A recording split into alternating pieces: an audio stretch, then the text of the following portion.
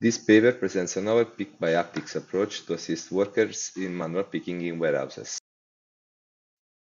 The system improves picking efficiency by providing haptic feedback associated with correct and wrong bin location cues.